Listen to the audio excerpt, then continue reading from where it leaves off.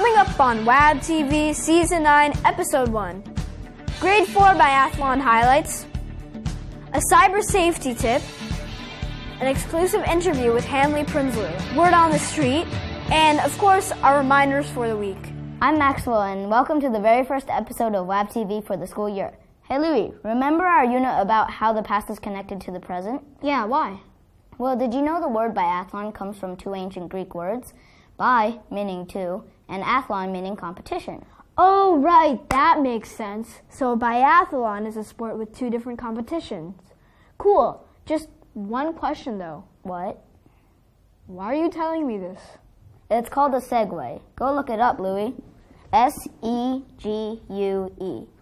In this week before the October break, the grade 3, 4, and 5 students competed in a very tough biathlon. WAB TV went along to check out the grade 3 event. In the week before the holidays, the amazing Olympic Dream Series biathlon was on. WAB TV was there to film the act. WAB TV.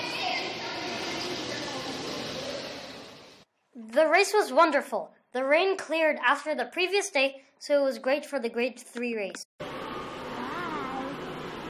competitors won really hard.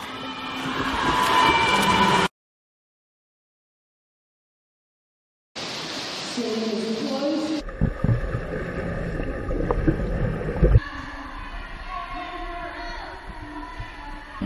in the hot sun as fast as they could.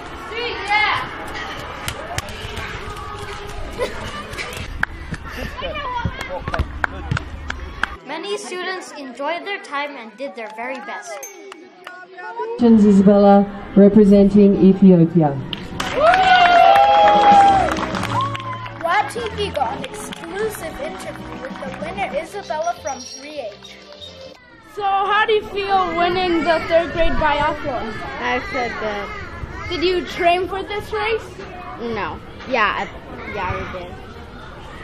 Did you expect that you were going to come first? Did you No. think you were going to? Congratulations for all the people who participated. I'm Ollie. And I'm Peppy. Now, it's, back, to the studio. That biathlon is really tough. It is. I can't find it. What does segue mean? Ta-da! This week's competition. Find out what segue means and send us an email with the word used in a sentence to win this cool web mouse. I think everyone's probably figured out by now that this year is Wab's 20th birthday. Sophia and Jeremy went out and asked what you would give Wab for a birthday present in this week's Word on the Street. Hi, I'm Jeremy, and for this time on Word on the Street, we ask, what would you give? What would you give Wab for for a present? Let's go find out. If you can give Wab any birthday present, what would it be? A water slide. A water slide. What would I give it for a present? Another Mr. Mac. Well, I give Wab a big cake, a big birthday cake to celebrate. I would give WAB a garden so it could nourish its children with healthy organic vegetables. A big kids playground. What? Not really for kids, for grade five. Yeah, yeah, it's for grade five, like really exciting and stuff. It's like dangerous. Yeah. Okay. Um, a giant tiger float. Um, a giant trampoline. You could give Wab anything for his birthday. What would it be? I think I would give Web for its 20th anniversary. I would give Web a whole year of beautiful days like this. No pollution, blue skies, nice temperature. I think that I would give them this ginormous mosquito eating machine for the secret garden. Why? Well, too many kids are getting eaten alive. Thank you. Hey Maxwell, do you ever get weird comments on your blog? Yeah, I do, especially recently. What's up with that? In this week's cyber safety tip, Oscar and Anna are going to tell us what's up with that. Oh, look, I got a comment. Hey, what's this? Oh no, here's a spam. Ah, you got a spam comment. So far this year, there was so much spam comment on our blogs. Today we're going to show you how to get rid of them. First, you go to your dashboard. Then you go to your comment section. Then see your spam, then click spam. I'm gonna you past, you stupid little spam punk. Remember, if you get a spam comment, just put it in your spam box or just delete it. Before the break, WAB TV's Anna and Aria were lucky enough to secure a private interview with South African freediver Hanli Prinsloo. Let's see what they found out. Hi, I'm Anna and this is Aria, and we're from WAB TV. Firstly, we'd like to thank you for letting us interview you. It's a pleasure. We read on Wikipedia that you are conserving and protecting the world's ocean through human experience. What does that mean?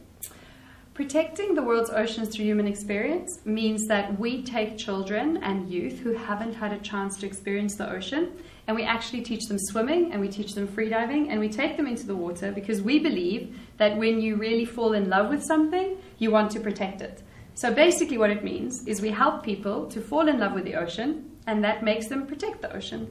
Why do you use a single um, a single fin? We've learned from whales and dolphins the best way to move through the water is to have our feet together and have a big fin on it, and it's called a monofin. And when you swim with like a, with a, when you swim with a monofin, you actually feel like a dolphin.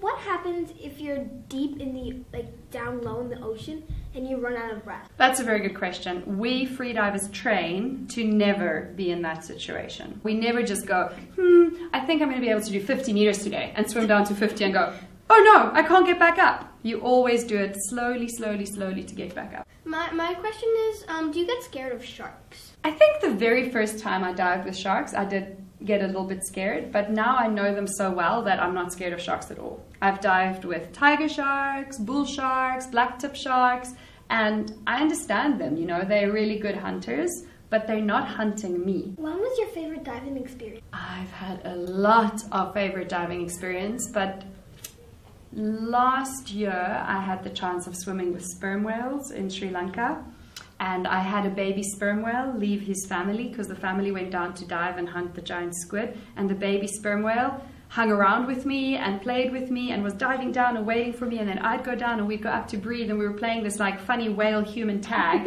And I think that that's my favorite diving experience.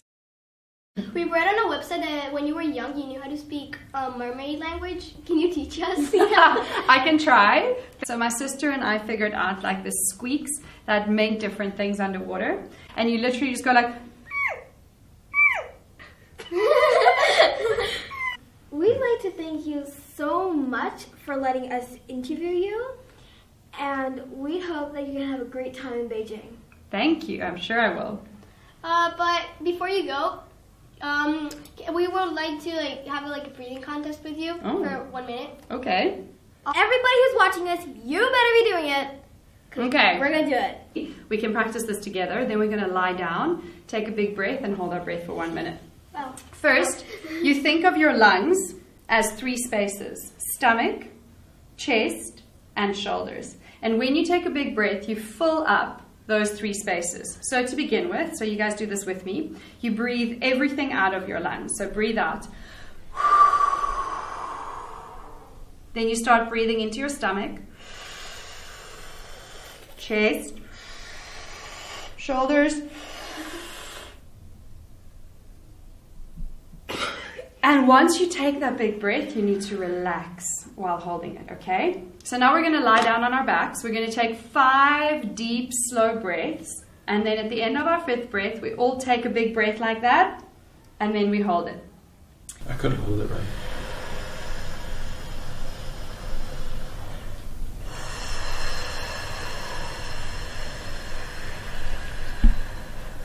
Okay, two more breaths.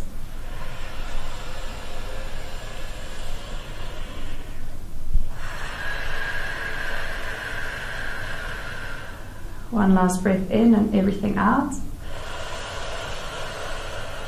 Everything out. Now fill up nice and deep.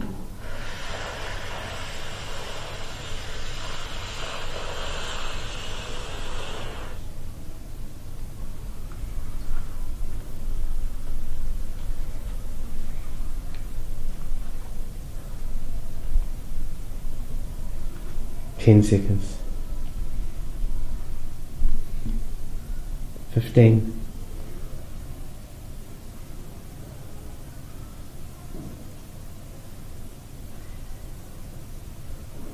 Twenty-five. Thirty seconds.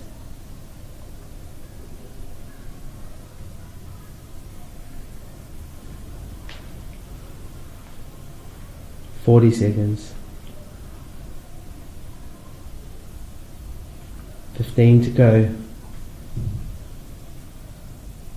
Last ten. Nine, eight, Can't take it. seven, six, five, four, three, two, one minute. you guys did so well.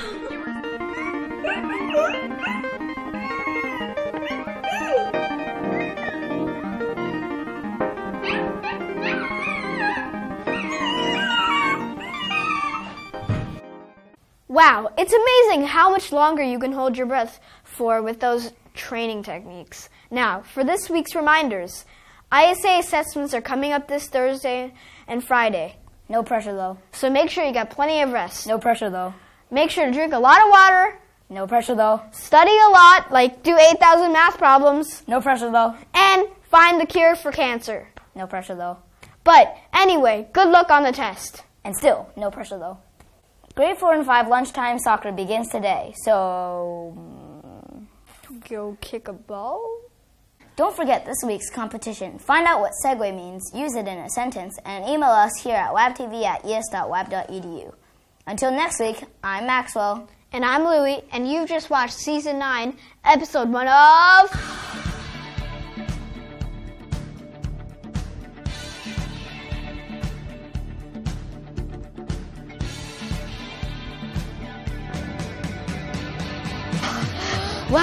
Wab TV.